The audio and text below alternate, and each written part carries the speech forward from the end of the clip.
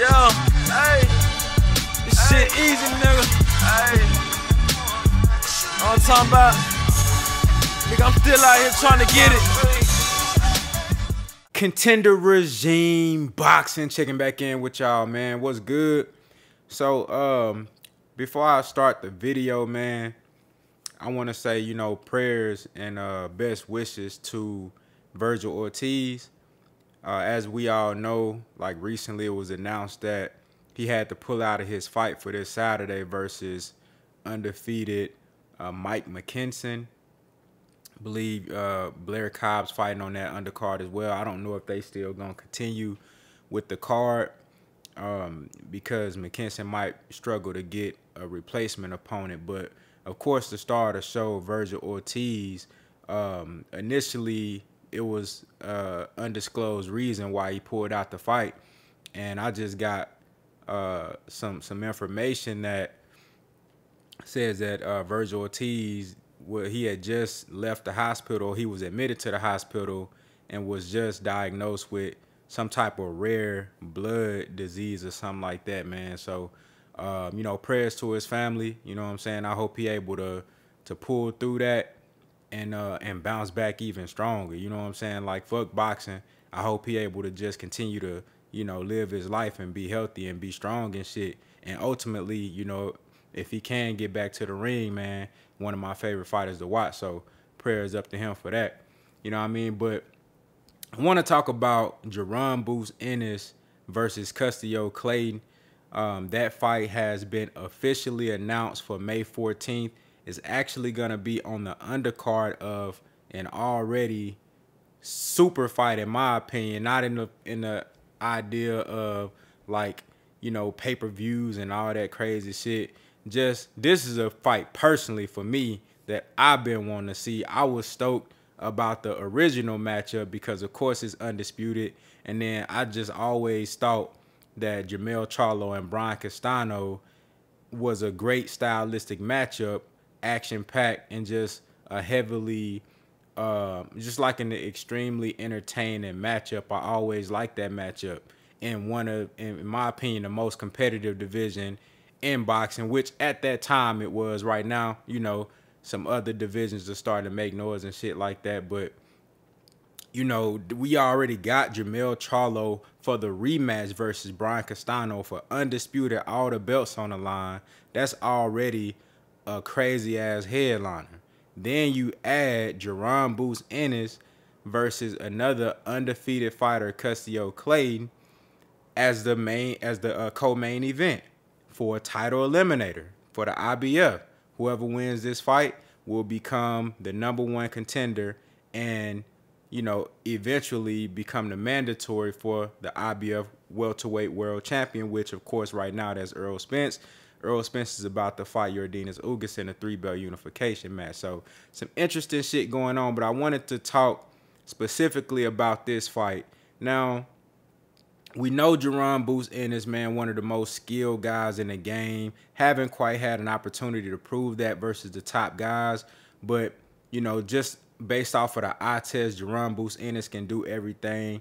Uh, one of the most athletic guys in the game uh, really has every tool and every skill. If you could draw up a fighter from scratch, Jaron Boots Ennis would be that guy. Can switch from orthodox to southpaw fluidly and naturally and be 100% comfortable in either stance.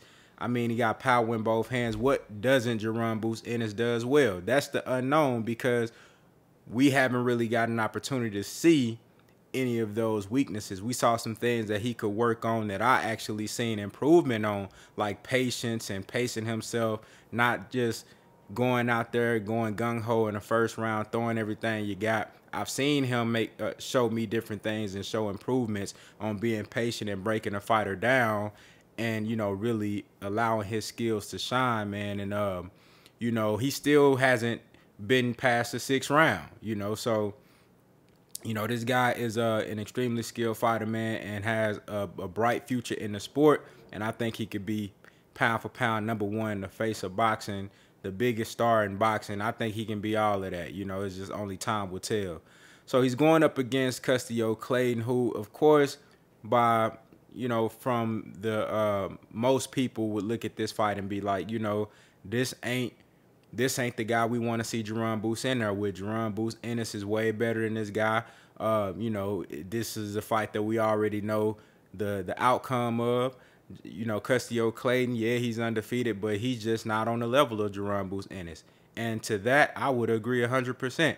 You know, however, Jaron Boots Ennis has been fight. He has been uh, trying to fight the top guys. He's been vocal about fighting the top guys. He's been vocal about wanting to get in with the best, and he's never shied away from any challenge or um, anybody that's worth anything that's saying that hey, I would like to fight this guy. I've, I haven't seen Jaron Boots Ennis give off the energy that he's shying away from that. So what I won't do is criticize Jaron Ennis for staying. Number one, he's fighting a title eliminator, which if you think about it, this is the route that you gotta go if you're a guy like Boots Ennis. That's where it's hard for you to get fights. You're you're so good and so talented that you're high risk, low reward. Somebody fight if a top guy fight you right now, they're not gonna make no money, and it's an extremely high risk to fight a guy like Jaron Ennis with very little to get from it. So you beat him, they're gonna be like, well, you beat a, a, guy that was unproven, and then you ain't gonna make no money. If he beat you, your whole career could, your your whole career could go down the drain. You know, these fans they see you lose one time and they just throw the whole fighter away. You dig what I'm saying? So it's a high risk, low reward. So in Jaron Boots Ennis' defense fighting a title eliminator, even though it's versus a guy that we probably don't want to see him fight, it's the best thing he can do. It's the same thing Errol Spence had to do when he was calling out everybody, didn't nobody want no smoke. So we had to fight Chris Algieri and then ultimately Leonard Bundu for a title eliminator to get the to become the IBF mandatory versus Kell Brook. That's the only way he was gonna get a title shot. If he hadn't did that, he would have just been fighting bums for his whole career. So you have this the route that Jaron Boots Ennis have to go. You know what I'm saying? So um, Custio Clayton, undefeated guy. Um, I believe he started boxing like around 11 years old. He's from Canada. He's actually like a six-time national champion uh, in the amateurs in Canada. You know what I'm saying? Really a relatively unknown guy here in the U.S. And I've seen a little bit of film on this guy. I'm gonna be honest with you. It's not really a lot of film out there on him, but I've seen a little bit of film, and I tell y'all you know, I'm just the type of person that just give me a few rounds of a guy and I could tell you a lot on what what their capabilities are, their strong points, their weaknesses. I could just tell a lot in three rounds. But I actually watched the fight versus Perez. That's one of the few fights that you can find like full fights uninterrupted and shit like that online. So I'm gonna tell you like this, man. This dude, he in trouble. You know, Custio Clayton, he in trouble. You know what I mean? He get in there with a guy that he's gonna be extremely overmatched with with Jaron Ennis. I mean, Custio Clayton, the best thing he got going for him, he's physically strong. You know, he he got, in my opinion, he got more muscles than skills, but he undefeated, so he doing something right. He ain't really his the biggest fighter, the biggest name and probably the best fighter that he fought was Sergey, uh, Sergey Lipinets, which is probably the best fighter that Jaron Boots Ennis fought. The difference is he got a draw with Sergey Lipinets, and we all know what Jaron Boots Ennis did to Sergey Lipinets. But that's neither here nor there. What I'm saying is that Custio Clayton, um, he really don't bring a whole lot to the table that could cause trouble for Jaron Ennis. Um, the best the best weapon that I see that he has is like a looping overhand right. You know, he got some decent power in the overhand right. I think he's like what uh, 19 and 0 with 10 knockouts. I could be wrong on that. I think that's that's what his his record is looking something like that. So he's not like no one punch knockout artist anything like that, but he got some respectable pop. And if he land that right hand, you know, it could be trouble. I mean, on any given night, any fighter get hit with the right shot at the right time, your ass could get knocked the fuck out. I mean, that's just life. You dig what I'm saying? But Custio Clayton is extremely overmatched in this fight.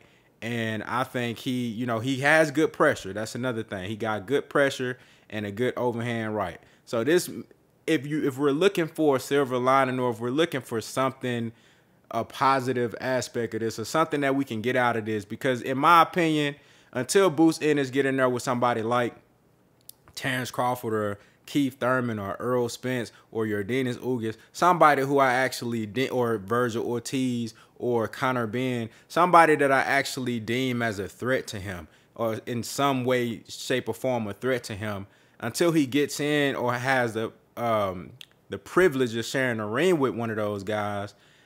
I look at these fights as like kind of like a test. You know what I'm saying? Not even really like test. It's it's kind of like practice. You dig what I'm saying? I'm searching for like I want to see him in there with guys like that's gonna make like push pull something up out of him. You feel me? Like show us something like how you deal with pressure.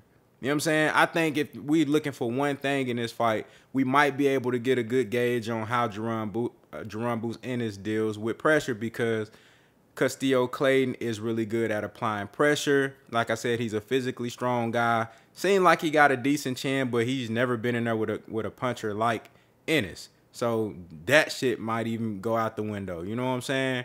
But it's gonna be interesting to see how Jaron Boots Ennis handle that pressure. Look at his footwork. Like I said, it's practice. It's kind of like, you know, you a coach and you, you know, you scrimmaging. You you watching your your players scrimmage and shit, and you looking for little things. You watching your star quarterback. Ah, you know what I'm saying? Let me see his pocket presence. Let me see, you know what I mean? Let me look at his accuracy. You know, you working on little things. You cause you already know the motherfucker code. Now you just watching little things to see how he gonna get better.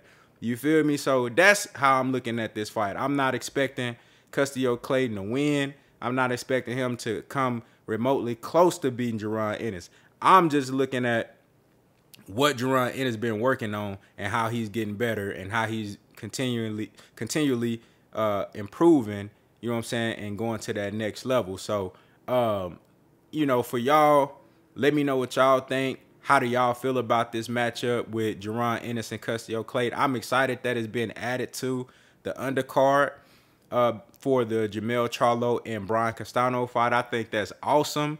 That fight is pay per view worthy, but as of right now, it's free on on Showtime. So, you know what I'm saying? Keep that on the low. It's free on Showtime. If you got Showtime, it ain't pay per views. You already got the app. You good. But that shit is some shit that a motherfucker pay for. How you put Keith Thurman and Barrios on pay per view, but we get this free? I ain't tripping. You know what I'm saying? That's what's up. I, maybe they just doing us a favor. They like, man, look, let's show them some love. I didn't buy the damn Keith Thurman fight, but I'm just saying they like, all right, let's show them boys some love. You know what I'm saying? And we gonna put this, this gonna be free. You dig what I'm saying? So y'all let me know what y'all think down in the comments. How y'all feel about this matchup? What do y'all know about Custio Clayton? You know, maybe uh, some of y'all have seen more of Custio Clayton than I have and uh, shed some light, man. What y'all know about him? What y'all expecting in this matchup? Contender regime, boxing. I holler at y'all boys, man.